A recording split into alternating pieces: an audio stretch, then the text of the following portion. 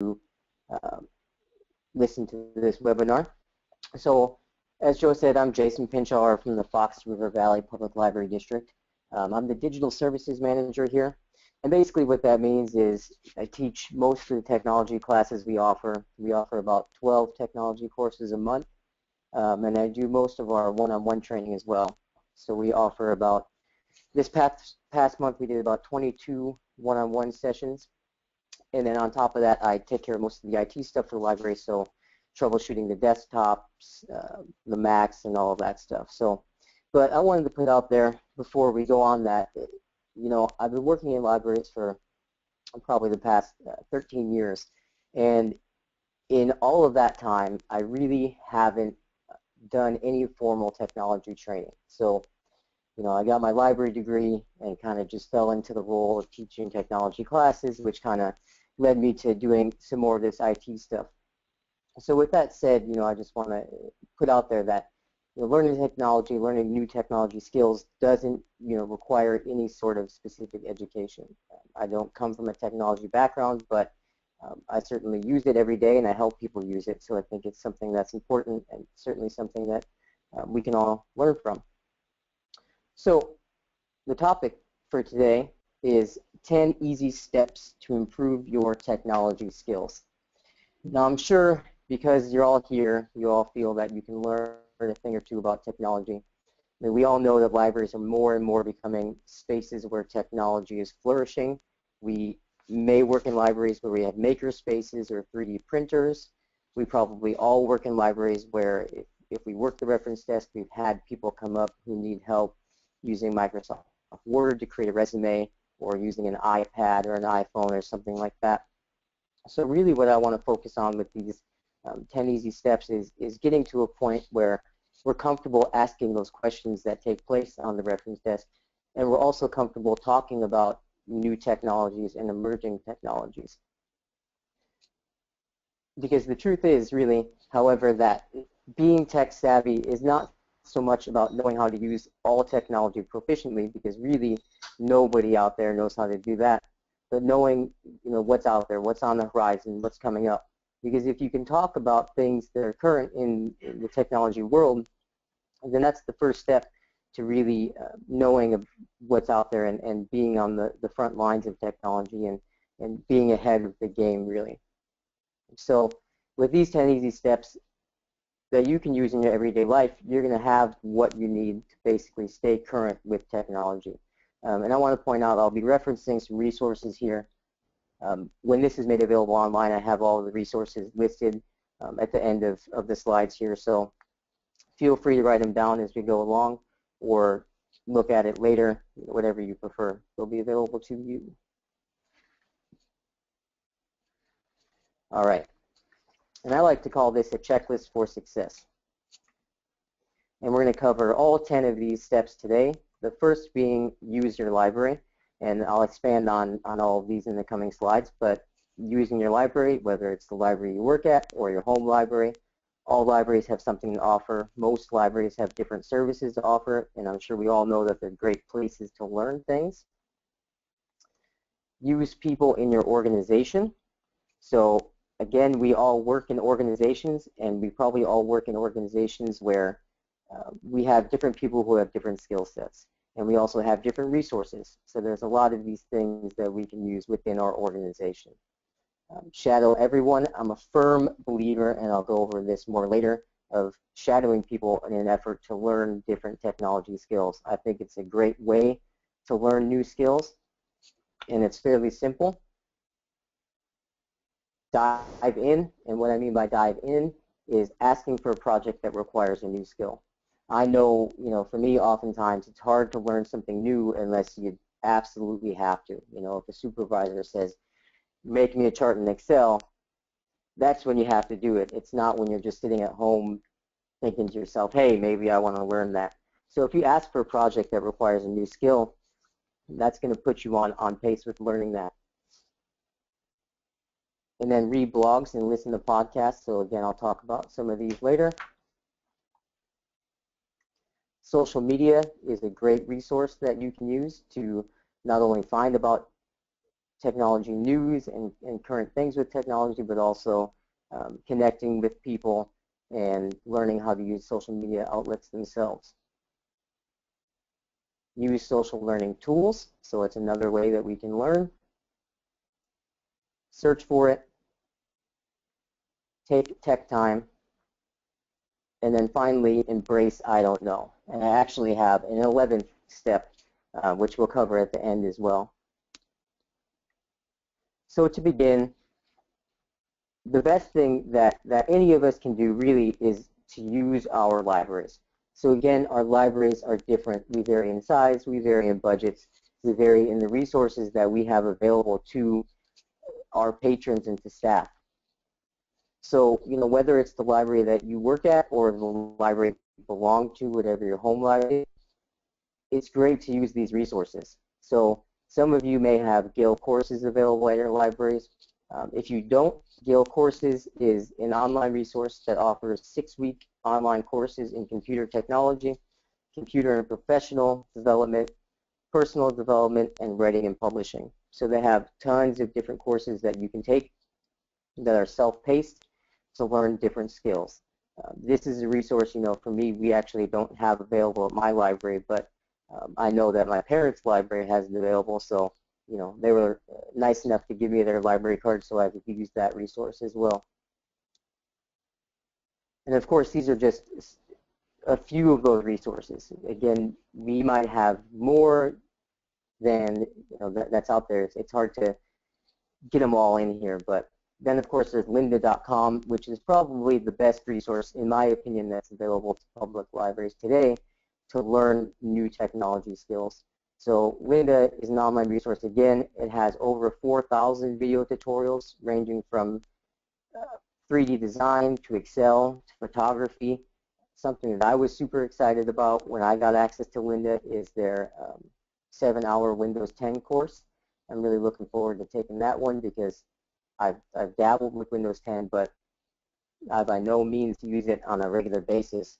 So I'm really looking forward to that course, and they have, again, courses on anything, web design, photography, little quick courses.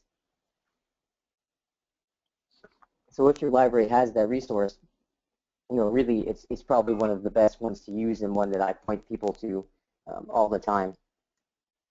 Then there's Treehouse, which is a bit more advanced, but a lot of libraries that are diving uh, more into the maker spaces and the idea of making um, are using Treehouse because it's an online resource that offers tutorials on coding.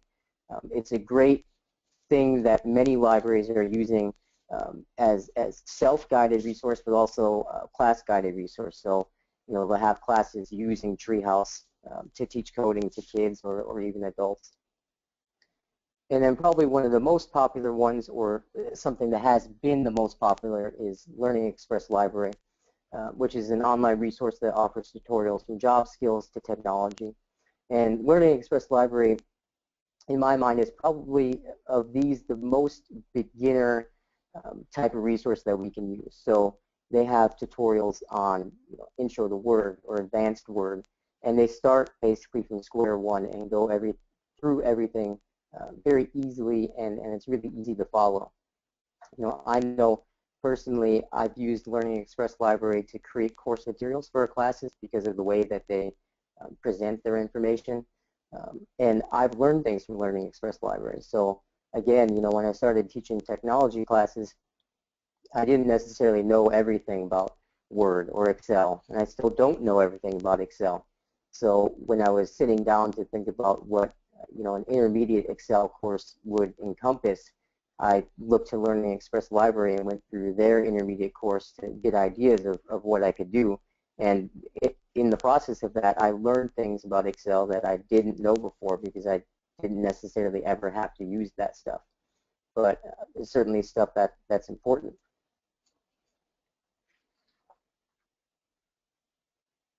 And then, of course, there's the ability, if you have somebody in your library that does teach technology classes, uh, this is me teaching a class at our library, you know, go ahead and, and take a technology class with them recently here um, at, at Fox River Valley Library, we instituted the core competency checklist for staff.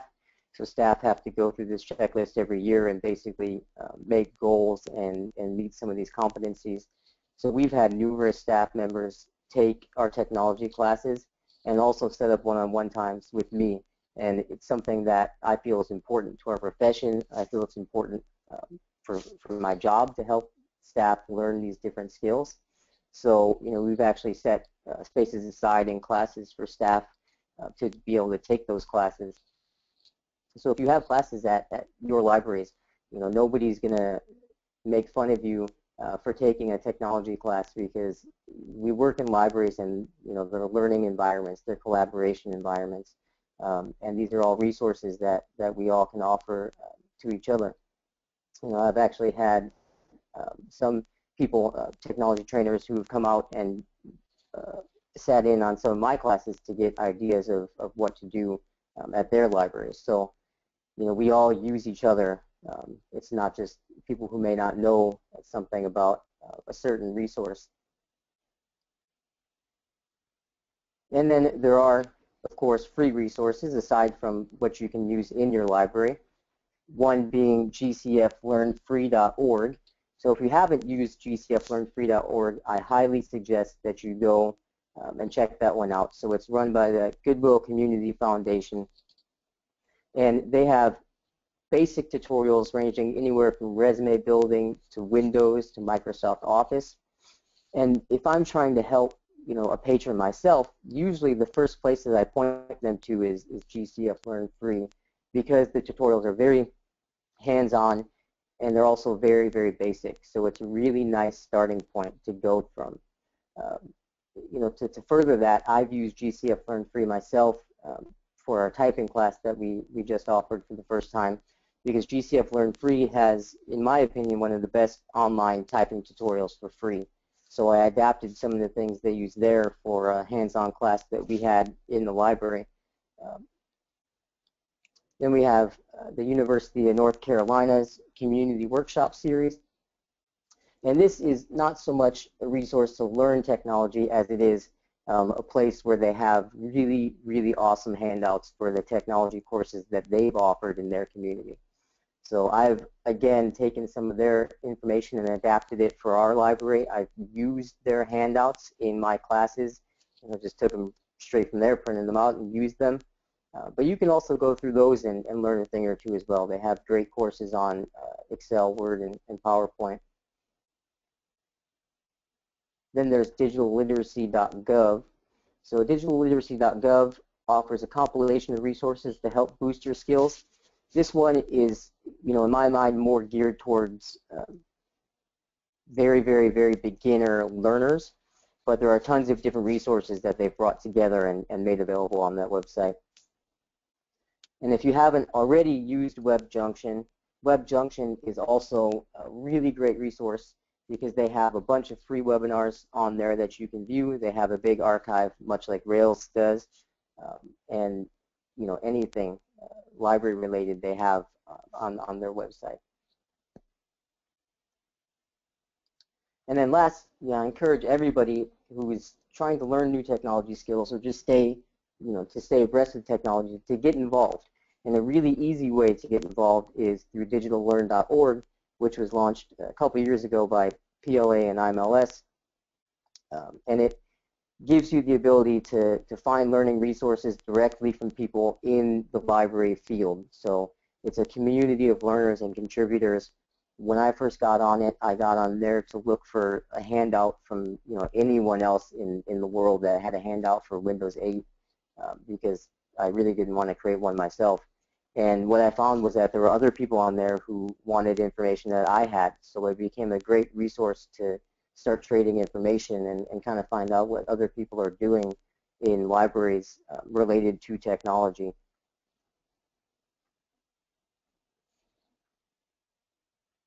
And of course, in libraries, we all know that there's not going to be any judging, right? We want to believe that this is true um, because we all use these resources. I mean, even the people who work with technology every day use different resources to learn new things.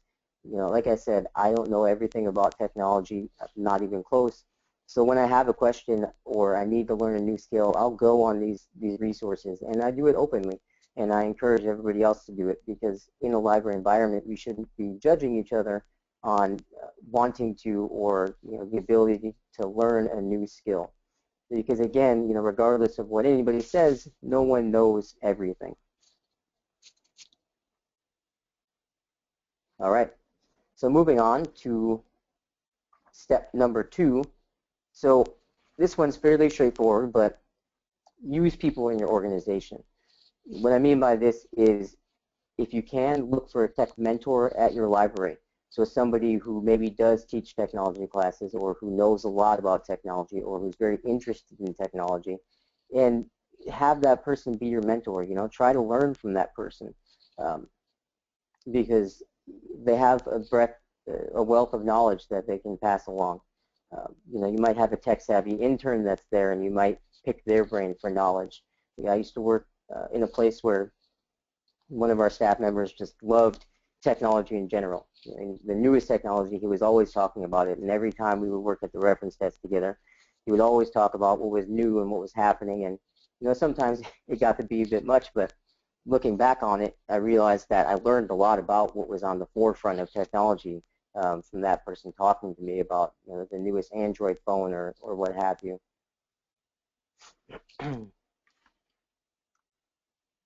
and number three, which is probably one of my favorite steps to take when you're trying to learn technology or learn a new technology or again stay afloat with what's new in technology is to shadow everybody. So observe your colleagues in action. Again, if there's somebody who's really good with technology, watch them. If, if they're giving a one-on-one -on -one at the reference desk or if somebody comes in with an iPad question, sit in on that and, and observe what they're saying and, and learn from that situation as well.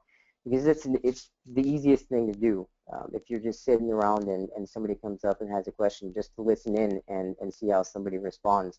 Um, so, you know, you might want to listen uh, for keywords or words used most often in those cases as well, because usually a lot of these keywords factor into other things, and you might, you know, look up and see what those are. Because learning is a process, and really, you know, nobody should be ashamed uh, to want to learn. In in my experience, you know, here I was recently promoted to the position of digital services manager, uh, which again includes managing basically all of the IT in the library, which is troubleshooting the computers, um, making sure everything works, troubleshooting printers and so forth.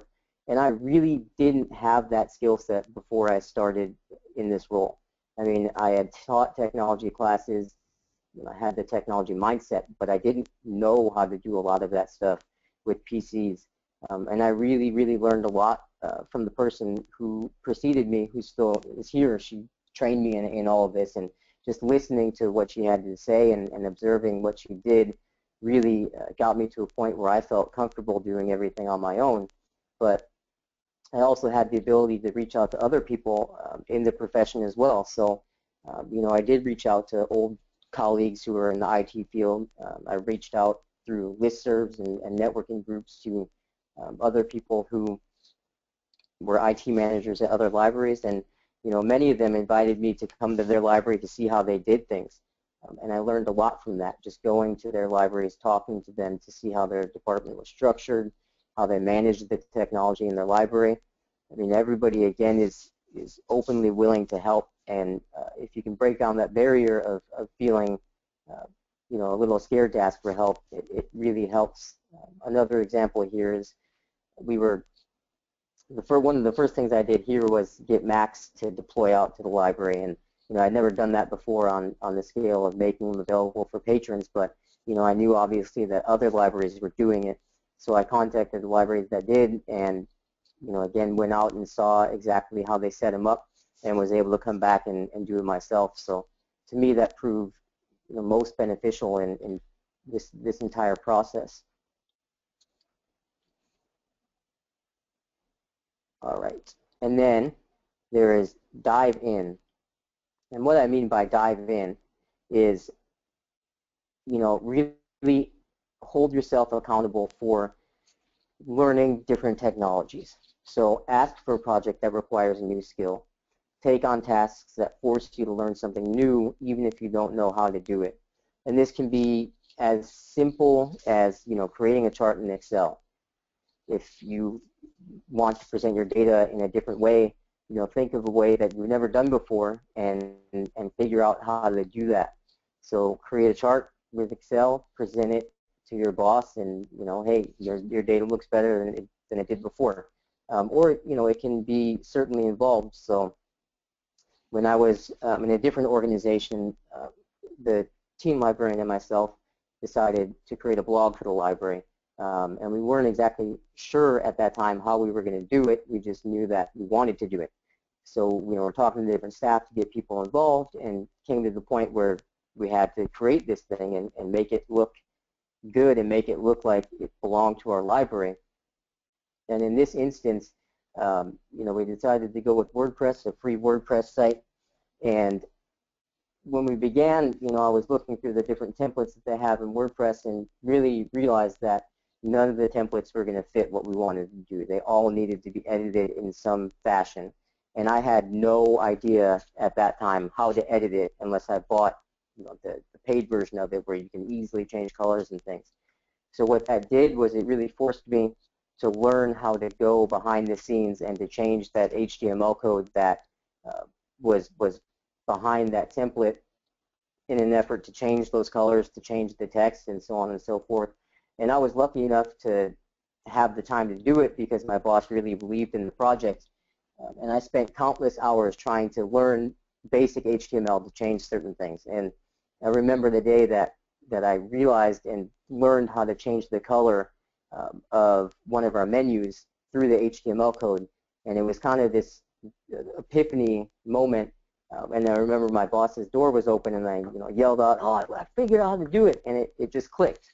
Um, and that was really all it took. And, and once that clicked, it wasn't as hard as it seemed to be before. But it took the time and it took the curiosity um, and it took the interest in order to do it. And with that, you know, that, that also goes along with the, the notion of use it or lose it. So, you know, even if you ask for for a task that requires a new skill and you, you learn a new skill, so often do we forget those things. Uh, when I'm thinking back on that blog, that was two years ago now, I haven't really done much with HTML since then, and I find now when I try to do things, you know, I've forgotten a lot that, that I learned back then. So find a way that, that you're going to use it and incorporate it into your everyday uh, workflow, and, and it will certainly stick with you.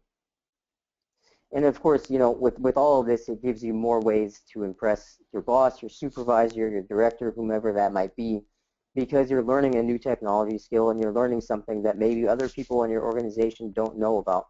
And you can always give that knowledge back.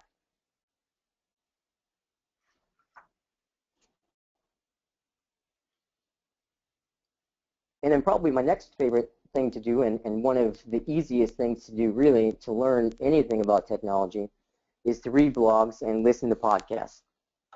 So blogs are a great way to get quick information, and you don't have to be an expert to read them. Generally, people who write blogs are writing them in a way that anybody can understand because in an effort really to reach the largest possible audience, you have to write in a way that other people are going to understand and read and they're they're an easy thing to do to incorporate into your daily workflow. So for me, I've always tried to have a list of blogs that I know are relevant and useful that I like to read, or you can just look at the headlines, and that's the first thing I'll do in the morning when I get to work. You know, I'll sit down at my desk, I'll go, I'll look at all of the blogs right in the morning and see what the headlines are, and if there's something that interests me, I'll read, breeze through it. And I've incorporated that into my workflow. So I just do it every day. It's something I don't really think about anymore. Um, and you know, with that, it's it's not necessarily always about reading the full text of an article. You know, some blog posts are boring, some are exciting, but a lot of the times the the headlines can tell you everything. So you know, when Windows 10 came out, I was looking at a lot of these technology blogs and sites and things, and most of the headlines are Windows 10, you know, great, but has bugs. And that told me all I needed to know. You know, if I was thinking about deploying it out to the public computers here, well, it still has bugs, so maybe I'll wait on that. I didn't have to read any of those articles. I got that information right away, and then I could go talk to somebody else and say, "Oh yeah, you know, I heard Windows 10 had had uh, some bugs in it," um, and you just gain that that really basic knowledge. Um, and as far as podcasts are concerned, again, I'll give some examples of, of this stuff in a second. Um, if you have a commute, podcasts are a really great way to take up that time in the commute. Unfortunately, and fortunately, I don't have very long of a commute, so it's harder for me to listen to podcasts because I don't like listening to half of it and then getting to work and, and having to listen to the other half later. Because usually I forget about it, but they're really easy because you just put it on in the background, you listen to people talk, and, and you know you just go with it. Uh, so you know again, just make that part of your ritual, and and once it's it's part of your daily workflow, you're not really going to think about it anymore. and with that, it's also a great use of desk time. So if you do work on the reference desk and you have a slow period, open a blog and just breeze through it.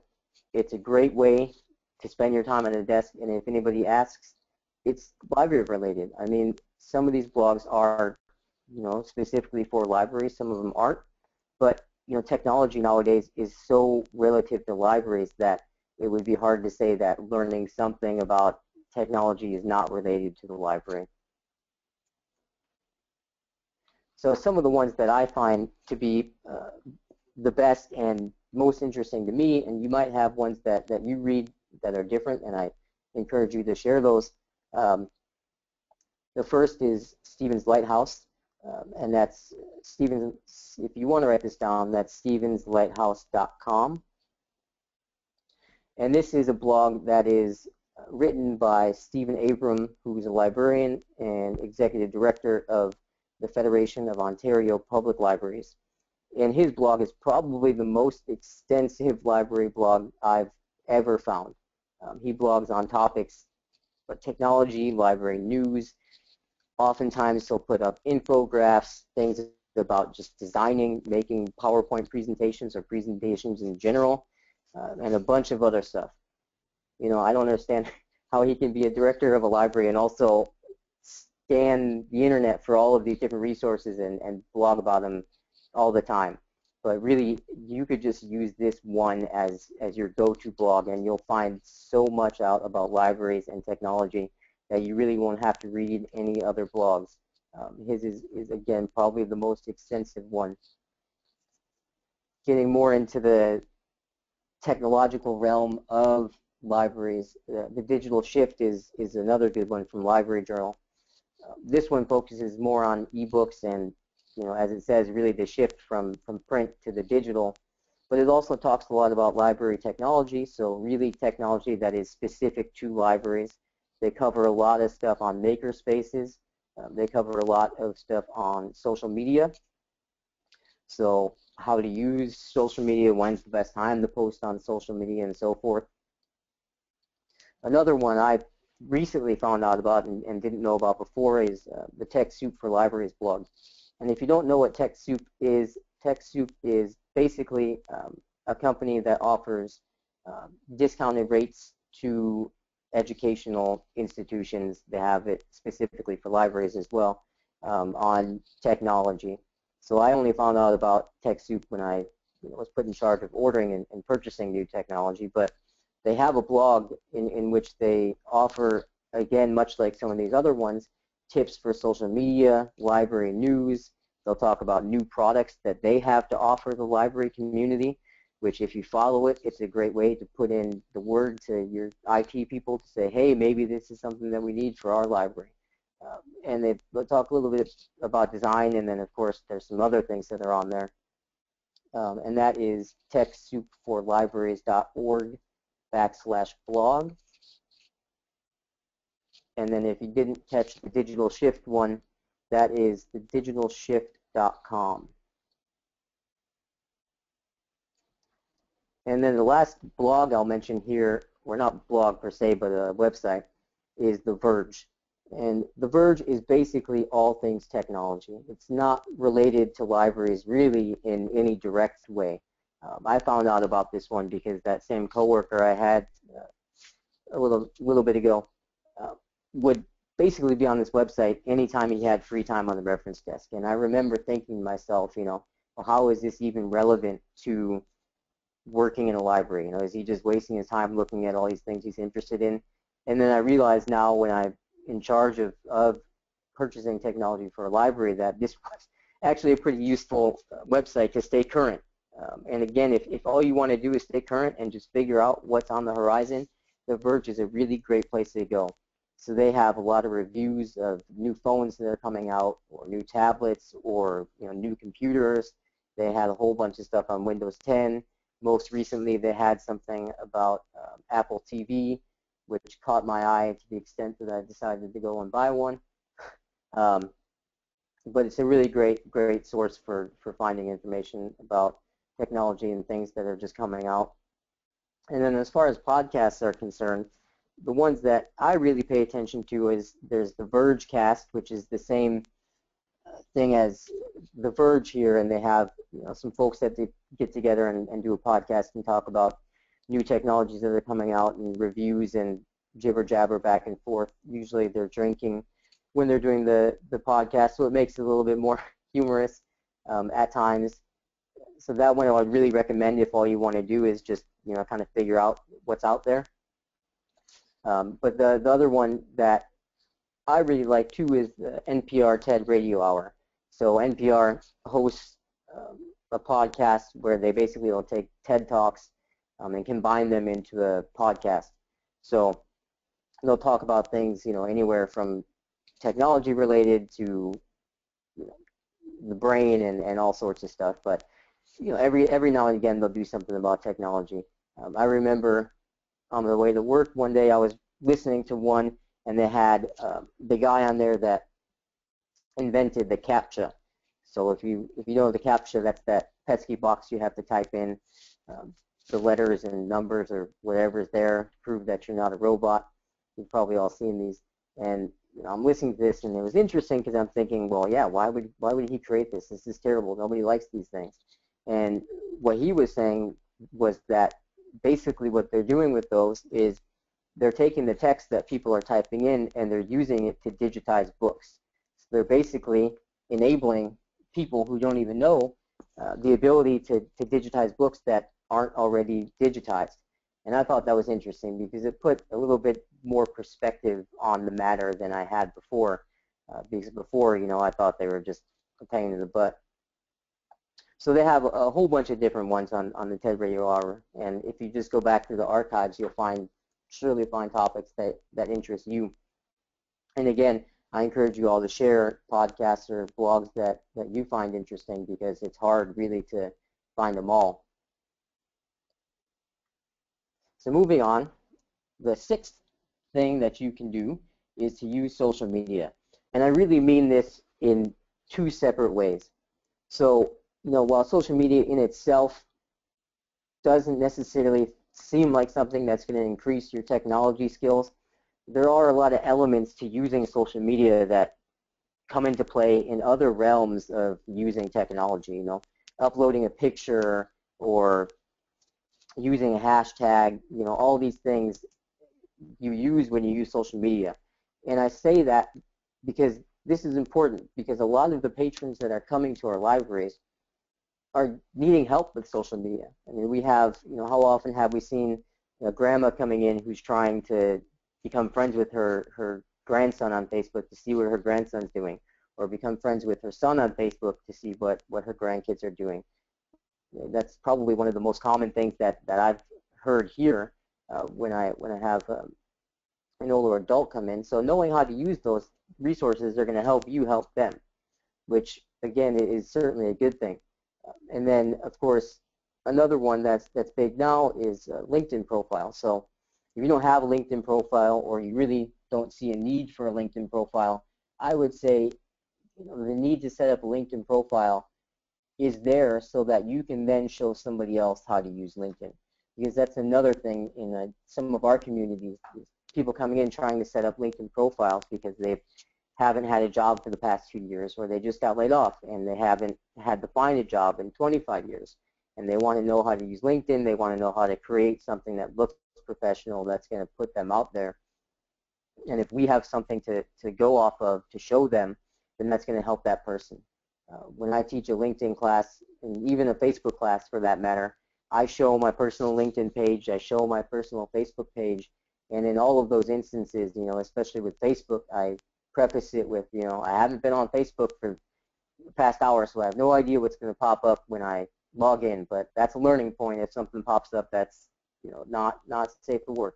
Um, because people want to see it and they want to know how to use it, and if we can show them what we've been doing, that certainly helps in that learning process. But going off of that, the second part of, of the social media thing here is they're also really great resources to help you stay current with technology trends.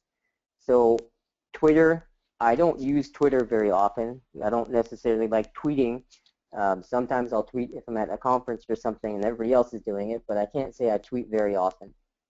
But Twitter is one of the greatest resources that you can use to learn things about technology or just to stay current with technology. So this doesn't mean you have to be active on Twitter. All it means is that you just have to follow certain people or companies or organizations on Twitter, and then whatever they post is just going to pop up in your Twitter feed, and you get that instant access. So I'll list off some here, and again, these are going to be part of the presentation um, at the end as a slide. So uh, if that becomes made available online, you will see those. But the first one I'll mention here is TechCrunch. So that's Tech and then Crunch, um, and what and that's a, a, Twitter feed. And what TechCrunch is, um, they talk about all things technology, basically, with breaking technology news, opinions, and analysis. So really talks about all all things related to to technology and new technologies that are coming out.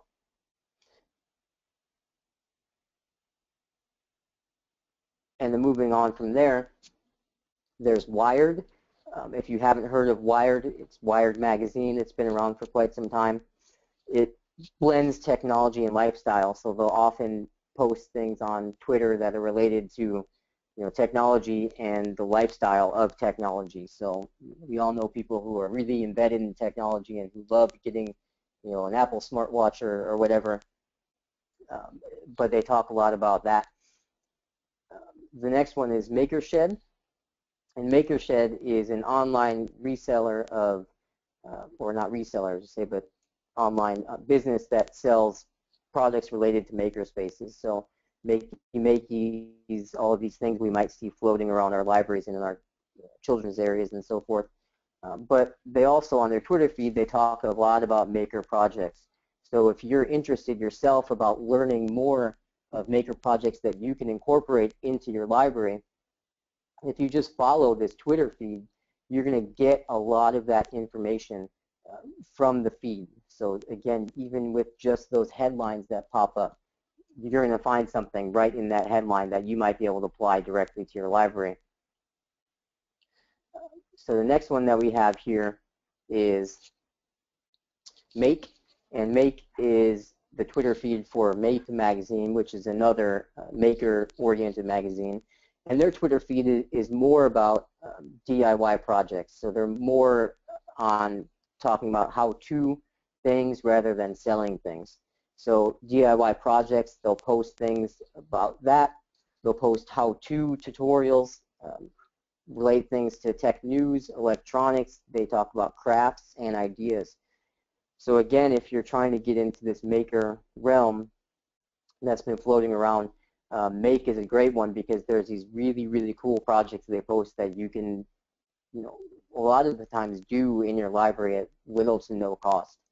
Uh, Another one that I follow is Thingiverse, which is um, a free resource where people post their 3D objects to download for 3D printing. So uh, if your library is, is into 3D printing, Thingiverse is a good Twitter feed to follow because it's really all about 3D printing. So they talk more um, about what's happening in the 3D printing world, but also you know designs that people have submitted and so forth. Uh, the next one is another maker one, which is make it at your library. So that's make it, and then the at symbol, your library. And this is all about connecting librarians to makerspace projects. So again, projects that you can do within your library that are part of the maker culture, the maker movement. CNET is another one which is really big on just talking about technology itself, so technology product reviews, technology news. They give price comparisons for different uh, technology uh, things, um, videos, and, and podcasts. So CNET is a whole big thing, a whole website in and of itself, and in their Twitter feed, they will post a lot of that stuff.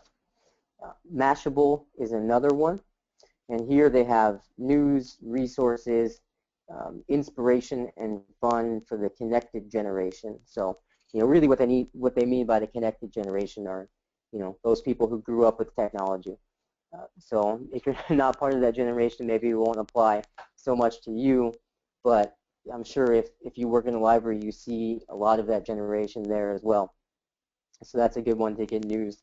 And then the last one, uh, again, is Stephen Abram. So Stephen Abram is uh, from Stephen's Lighthouse, the blog. And what he does on his Twitter feed is he basically tweets the headline for whatever he's blogging about. So if you don't even want to read what he's blogging about, just follow him on Twitter and you'll see the headlines. And if something interests you, all you got to do is click on it. Um, and then it's going to take you over to his blog or somewhere else where you can read that full article.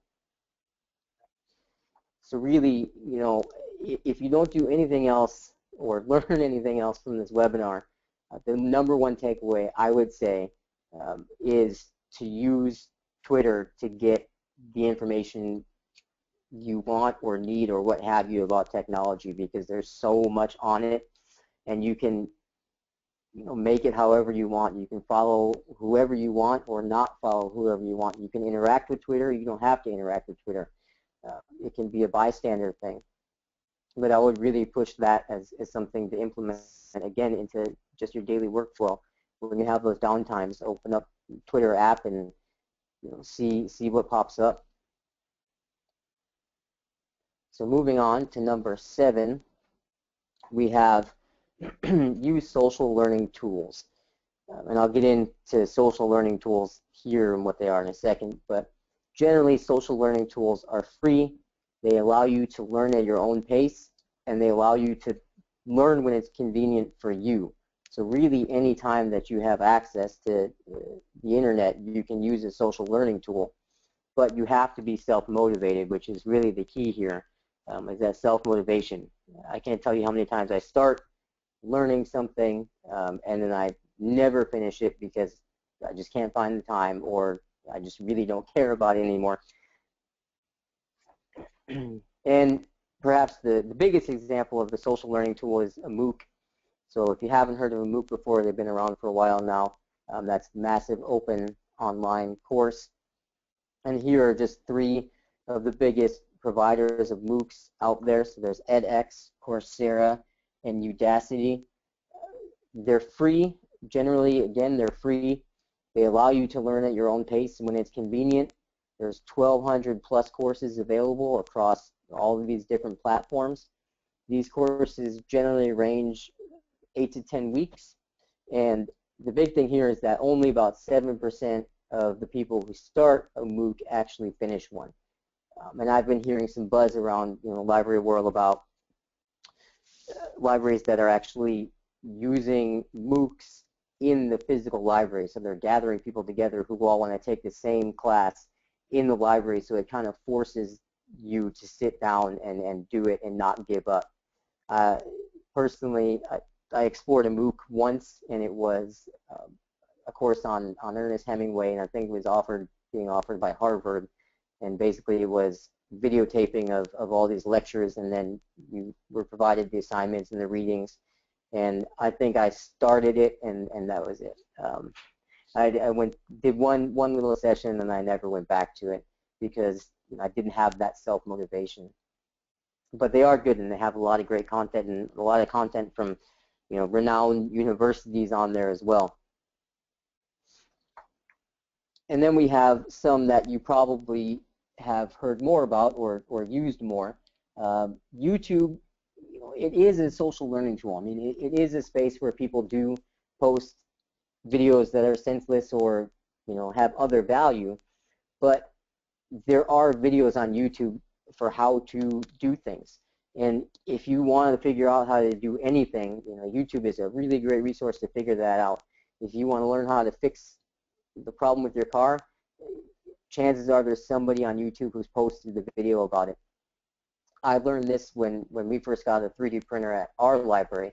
Um, I had no idea how to use the printer. I had no idea how to design any objects in 3D. I'd never used one. I'd never seen one. Uh, but we got one and I was in charge of doing something with it. And YouTube was where I found all of the best tutorials to learn how to design objects using SketchUp. It was really a great place and you can read the comments and sometimes the comments are laughable, but oftentimes people will post meaningful things in the comments like links to other videos or you know they'll talk about how maybe that specific video is, is not helpful. So in that way, it really is a social learning tool because there's that collaboration going on there. The second one here is, is TED. So we talked a little bit about, about TED before, but I'm sure you've all seen TED Talks. You know, they're, they're pretty big. We've, they've been around for a while. Um, and TED tends to focus on technology, entertainment, and design, uh, but it gets into science and, and whatever else you can think of. But TED Talks are a great way to, to learn new things about technology. You know, I referenced the one about the CAPTCHA, but they have a whole bunch of other ones that go far more in depth uh, with, with technology. And then the last one here, and this one, you know, may hit home for some of you and may not, but it's Microsoft Virtual Academy. And what Microsoft Virtual Academy is, it's an online tool, it's free, uh, and there's a whole bunch of self-paced courses again from Microsoft, generally using Microsoft uh, softwares. So, and, and, these are more, you know, hard IT based. So they have, you know, a beginner getting to know Windows course, but a lot of it is you know, learning networking or learning to set up a server or how to use a server or things that you can do on a server. For me, again, in my position, this was a big thing that I used to learn those things that I didn't necessarily know. Um, and these courses are all in preparation for exams that you can take to get different certifications. So the, again, they're a little bit more in-depth and don't necessarily relate to everyday technology skills that you might use, but if you are interested in, in gaining more of that knowledge, uh, Microsoft Virtual Academy is great. The only drawback is that their, their lessons are extremely long and they're really hard to, to get through unless you have a lot of time. and then number eight here is really just search for it. So, you know, we all work in libraries. I'm sure we've all searched for things in various different ways, but searching for something online really oftentimes can yield the best results. If you have a question, you know, how to do something in Excel, if you just do a search for that specific thing online, you know, how to create a pivot table, you're going to get something that's bound to help you, whether it's directly from Microsoft or just somebody else that posted a video, you're going to find something. Um, there really isn't much that you can't figure out from, from searching online. I still, you know, again, I still teach a large amount of technology classes here at the library, and there's always questions that I can't answer. And I always go to Google to find out the answer to that question, or I'll start with Google to figure out the answer to that question. Uh, I had, interestingly enough, I had a lady come in uh, just yesterday who was really determined to delete her chat history from Skype on her Android device. And apparently this is something that's really hard to do. And she had been to the Verizon store and she had been to Best Buy and nobody could help her. And she remembered reading in the newsletter that we had people here who could help. So she came to me and she was really in cahoots um, over over what to do. And you know, I said uh, straight straight out to her that I've never deleted Skype history on an Android phone, but I'm sure we can figure out how to do it.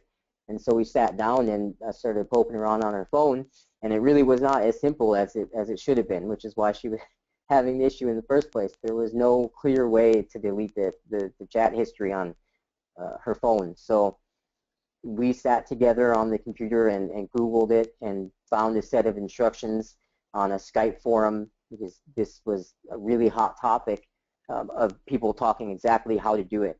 And we went through that together, which was great because, you know, not only did I learn how to do it, if it'll ever apply to me again, but she learned how to do it and she also learned herself how to just go online and, and be able to search for something. So if this happens again to her, she might, you know, maybe she'll search for it on, on the internet first and see if she can find something um, instead of, you know, obviously we were happy she came to us, but, you know, instead of going to Best Buy or, or Verizon first.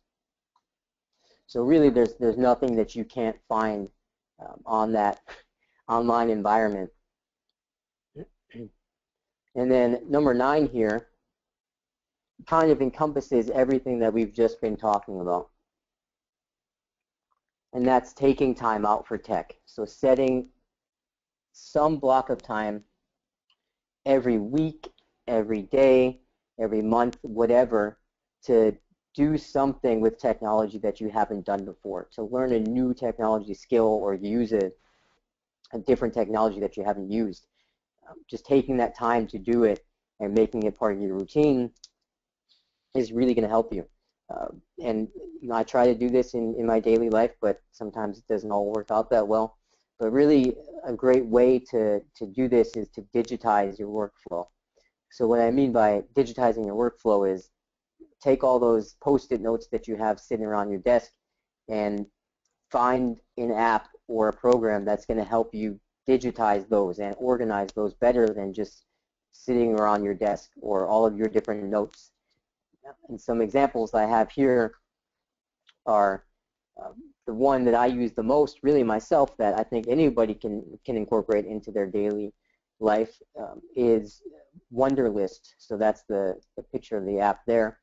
And what Wunderlist is, and that's W-U-N-D-E-R list, is it's just a, a simple program that, that gives you the ability to create lists. So you can have a list for work, a list for groceries, a list for things to buy.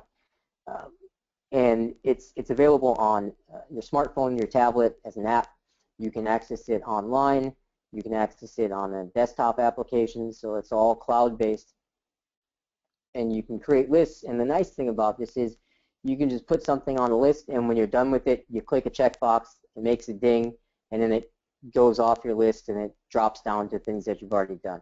So what I find to be the best thing about it is I can look back and see, oh man, you know, I've actually accomplished 590 things from my work list, even though I'll have 30 different things on my work list. But it's great because if you're if you're on the go and you get an idea, you know, I, I sometimes I'm driving to work and I think about something that I have to do, jot it down in, in, in Wunderlist real quick, and then I get to work and it's already there on, on my desktop application. I don't really have to think about it anymore um, until I check it off or, or decide to do it. But with this, you know, really you can learn that new app and then you can share that app with other people and then there's something about technology that, that you know you boosted your skills that much more. Another one is it's for notes. So if you take a lot of notes and again you're you're really sick of having pieces of paper laying around or if you're like me and you just grab the nearest notebook that's around and you write something down and you have notes in various notebooks. Um, Evernote is a great application that's available again as an app um, for your desktop, laptop, and also online that gives you the ability to organize notes into different notebooks. They also have now the functionality of you can even publish a, an ebook through it um, I don't use Evernote that much myself, but I know people who swear to it and take all their notes in there because all they need to do again is sit down anywhere and go online and open it up and all their information is there. The same with Wunderlist. You could be on any computer, go to wunderlist.com, log in, and then there you're going to have all those different notes and lists that you've made. And then another great thing to do um, if you haven't already, this one might be a little more, more popular, is to digitize your calendar. So if you have a paper calendar, I know some people still prefer to have paper calendars or desk calendars. There are so many different ways to digitize your calendar now that it's it, it, almost doesn't make sense to use a paper calendar. Um, this icon here, here is, is Google Calendar, so if you have a Gmail account or if your library uses Gmail as their email provider, you may already have access to Google Calendar. And Google Calendar is great because you can put in events, you can set times for events, you can invite people to events, uh, and they can accept the invite or not accept the invite. And it's another great tool that once you learn it, you can easily show it to somebody else, and that might change the entire way that, that they work by by digitizing their calendar. Um, a counterpart to this is Office 365. So if your library uses Office 365 um, as an email provider, then you likely have access to the calendar there, where you can do the same thing. So you can you can put in events, you can invite people to them, you can cancel events, you can share calendars with with one another. Um, we use Office 365 here, and uh, myself and and a, another staff member we have a one-on-one calendar. Um, so when we schedule one-on-ones, we'll put them in that calendar, and if if she's in it one day and I and I'm not, and somebody needs that time, I'll just put the one-on-one in there, and I'll invite her to it, and then she knows that that's now on on her calendar for her to do. So it's a really great way for us to interact um, together without actually having to send emails back and forth uh, with it. And of course, there are tons of other different applications you can use to digitize your workflow. I just chose three that, that I probably use the most. And then number 10 here, which again isn't last because I do have a, an 11, is really embracing the idea that you may not know something or you don't know something.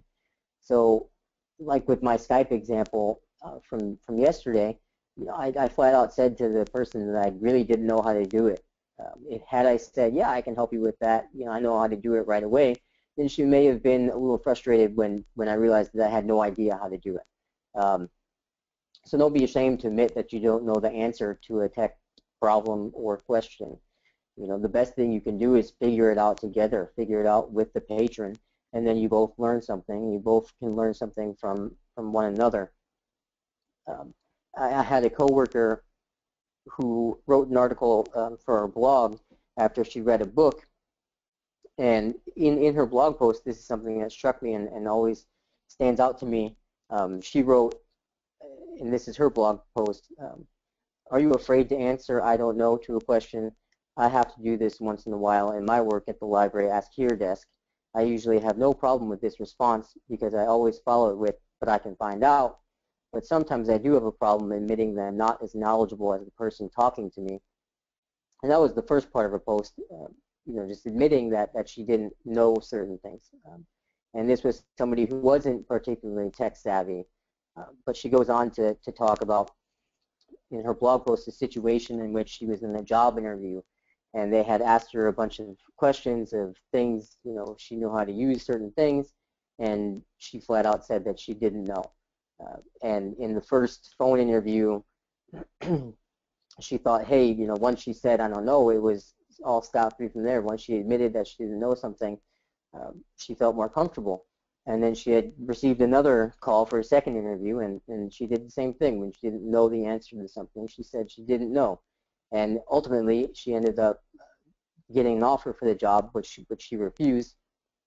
But it just goes to show you know, there, and, and that's why it sticks out to me is that embracing the fact that you don't know something doesn't doesn't mean that that something bad is going to come from that. You know, being able to say I don't know is is something that's really a strength um, and and should be a strength for for most people uh, because we can't all know everything, but a lot of times it'll work to our benefit and it, it comes as a learning moment. and then number 11 here last but not least really is um, this notion of, of failing. And failing is something I think that's being talked about a lot more nowadays than I remember it. But you know, increasing your technology skills is really all about failure. It's really going to be all about failure. Uh, there's a great quote from Samuel Beckett that uh, Pema Chodron, and I probably butchered her name, but she wrote a book called Fail, Fail Again, Fail Better. Um, and as, as the title, she uses quote from Samuel Beckett. Um, and it really encompasses what, what she tries to talk about in her book. But to, to go off that, I mean, we all fail at technology all the time. Technology fails all the time. Uh, being able to keep up with technology, you know, and be on the forefront is, is very hard. And really, in order to learn something, we're going to have to fail at some point. You know, something doesn't work, you're going to try it again, hopefully. If that doesn't work, you're going to keep trying. Maybe eventually you're going to ask for help. Maybe you'll look somewhere online for, for that answer. Or maybe in, in the end you find that there's nothing that you can actually do about it, and it's actually the, the technology that's at fault. And then maybe you give up, and then hopefully you don't. But every time, every time you fail, you know, you learn not to do that same thing again. So you're going to fail better the next time because you're putting more thought and more emphasis into it. An example I have here is really something that, that drove me nuts for a very long time. Um, we had a computer here uh, that apparently had been freezing. It was a patron computer that apparently had been freezing maybe once a week for the past couple of years. Um, and it would freeze on patrons when they were using it, and they would get upset, and staff would get upset. So when I started in, in my role as the digital services manager, I kind of fell into this, and quite well, pretty soon people were getting you know upset with me because the computer kept freezing. So you know, I decided to try to figure out what was wrong with it because that was you know really what what I was tasked to do, what my job was. Um, and of course, the first thing that I thought was, it's not my it's not my fault. You know, it's the computer's fault. Don't blame me for it. It's, it's all the computer. Blame it on Dell, right? So I called Dell. You know, we had a, a warranty with them, and they came out and replaced the motherboard and the hard drive of the computer. So basically, replaced the entire computer. And then a few days later, it froze again. And of course, now I'm getting really frustrated and kind of starting to feel like like I don't know what is actually happening, and I have no uh, answer for this. Um, so I tried a whole bunch of different methods. From you know, I first tried a different power cord. A few days later, it froze again. So I could rule out that it was the power cord. Uh, you know, next I tried a different Ethernet cable, and it froze again. And of course, now I'm getting a little bit more frustrated, and all the staff who have to deal with this and patrons are getting more frustrated. And then a few days later, you know, I tried a different uh, network port, so I plugged it into a different uh, cable port, and a few days later, it froze again, and it really went on like this for I, I think back in, in horror, um, probably about a month. And so I'd be on and off the phone with Dell, and Dell's sitting here telling me that it's not their fault, and that they did what they could do, and that it's something on our end. And I, I have no I have no idea what it is. And patrons are losing their work, and staff are, are at their wits' end. And I personally am, am beginning to question why I decided really to, to do this in the first place. And I start questioning you know, am I just not good at, at what I'm doing? Was I not cut out for, you know, this? But you know, ultimately, I'm not going to let one computer uh, bring me down, even though it caused me some grief. So I wasn't willing to accept that that it was the computer's fault. Um, so then it came to me one day when I was at home, probably thinking about this, that the one thing we didn't try was change uh, the power outlet that was that it was plugged into. Um, so I plugged it into a different outlet, and it hasn't frozen since then. You know, it took me all of those different those different times of failing to, to figure out what it was. And if this ever happens again, I know now that the first thing I'm going to do is, is plug it into an outlet. But I also know the other steps that I took that, that could have been the problem. So I learned from all of those experiences, and you know, I failed. I failed again, and then ultimately I failed better. So these are, are moments really that we can use and transform into curiosity.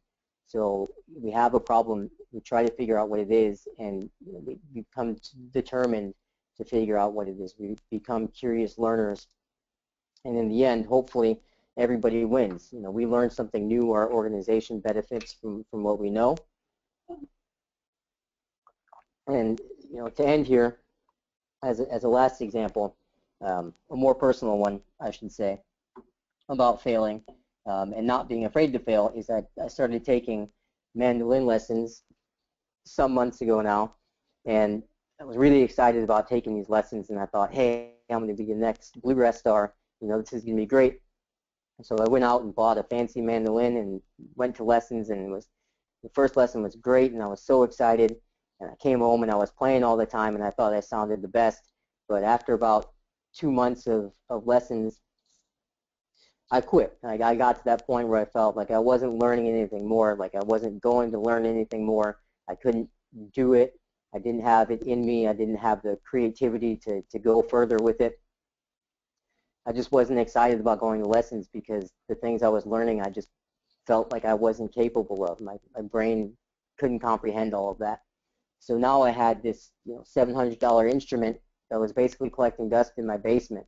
And I could hear my fiance telling me this whole time, you know, over and over again, I told you not to buy that mandolin. You wasted your money on the mandolin. You're not going to, you know, you, you don't know if you're going to be good at it. You don't know if you're going to stick with it. So in my head, I'm, I'm listening to this voice and I'm thinking, yeah, you know what, she was right.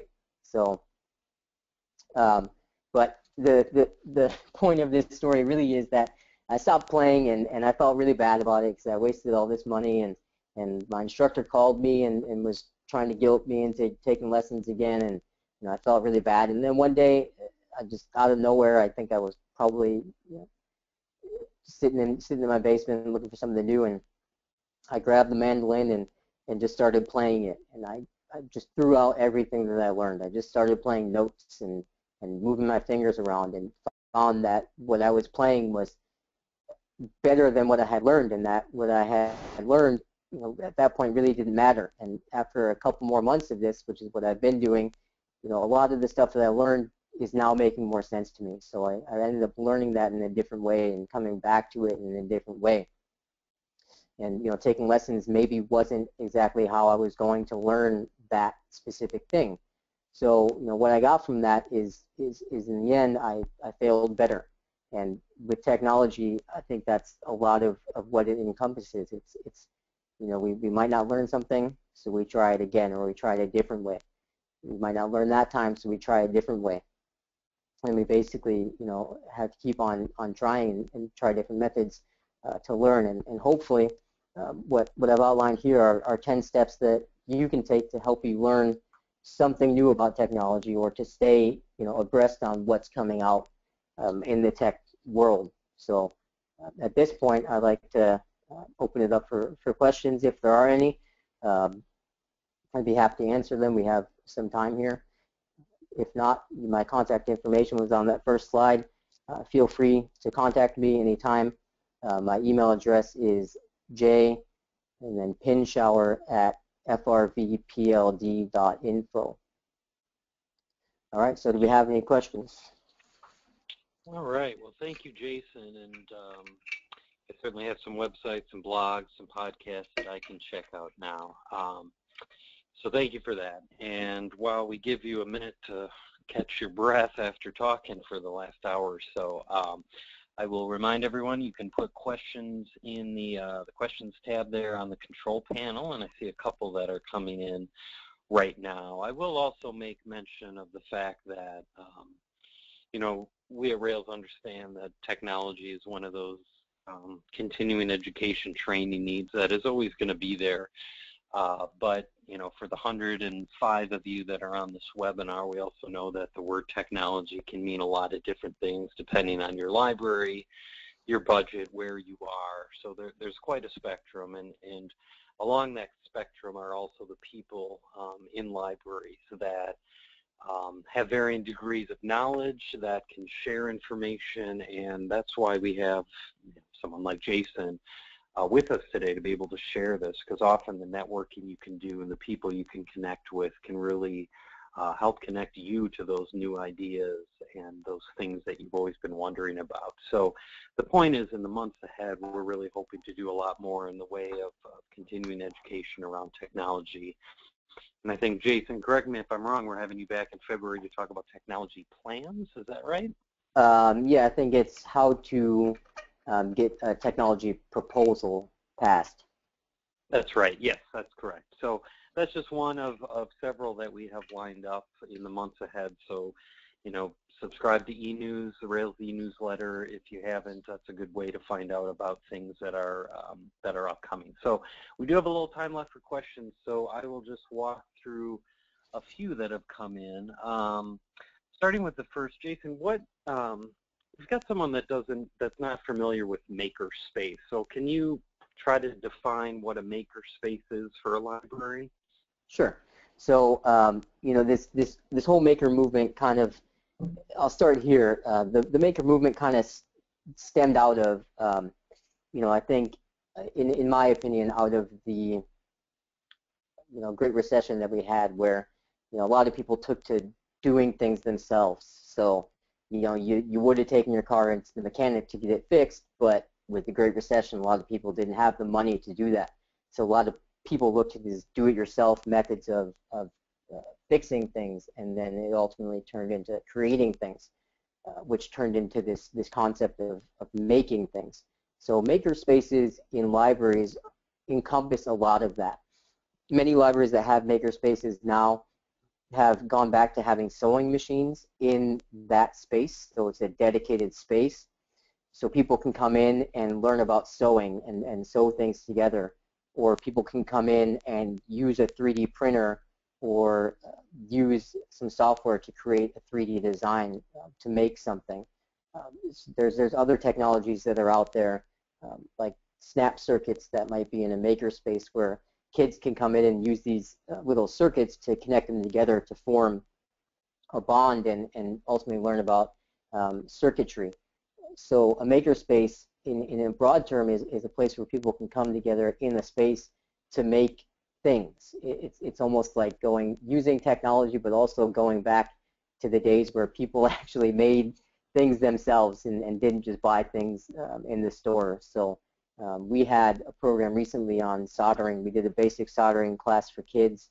Uh, we don't have a makerspace, but that would be something that we would have done in a makerspace.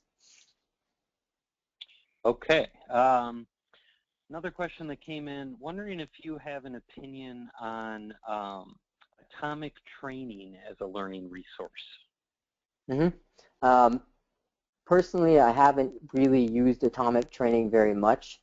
Um, you know, without, I guess, bashing any one resource, um, you know, Lynda by far is is the one that I would go to, but it's it's a hard one to come by because it's very expensive for libraries. I mean, we don't have it in in our library because of, of the expense, but um, for what I gather from Atomic Training, it's very similar to Learning Express Library, um, but I really haven't used it uh, myself. Sure. Um, and I will just add, you know, to to your point, Jason, about Lynda, Um, you know, it is costly, uh, and actually at Rails, um, we have, you know, they have a subscription model. One of one of the options is to kind of purchase a certain number of licenses that can kind of get used. Um, you, you, kind of can cycle through a number of staff. You know, you can set up a system where it's, you know, you get two weeks with Lynda, and then you move it on to another staff member that's interested. And, and so we started using that a few months ago, and, and we've been able to do it with not a whole lot of licenses, but just this, uh, this kind of rolling two-week period that people can use Lynda to take a course, and then when they're done, we can um, transfer them over to another person on staff. And I'll just say that that has worked pretty well, and it's not as expensive as trying to get a license for every person to be able to use it, you know, 24/7. So there are some kind of other options, but it is really in terms of kind of online on demand a, great great resource. Um, a how do you, uh, how would you what would you say, Jason, in terms of motivation? How to motivate employees to want to learn new technology? Any thoughts on that? Yeah. So um, you know, one way one way is certainly you know we developed this this core competency checklist. So um, in, in part, staff sort of have to do things um, to to learn new new technologies. But the best thing that, that I can do um, to motivate employees is to show an end product. So, you know, don't start with this is what you need to do and, you know, you need it, I need it two weeks from now. Start with showing somebody what that is. So let's say, you know, I want one of my staff members to um, learn how to design three-dimensional objects so that they can uh, teach a class on it. You know, I might show that person first the, the object that I want them to design and talk about you know, how it's so cool or or what what the what is actually being used for. Um, you know, as a another example of something that would be less exciting than that probably would be like an Excel chart. Um, you know, show the chart first and, and talk about how you know whatever data is being used, why it, it's better presented in that that that way and how that actually um, you know, adheres to their job rather than just saying, hey, you know, we need you to do this we need you to learn this because if people find meaning in, in what they're doing and, and understand that it is going to be beneficial, um, that, that's a motivator in and of itself.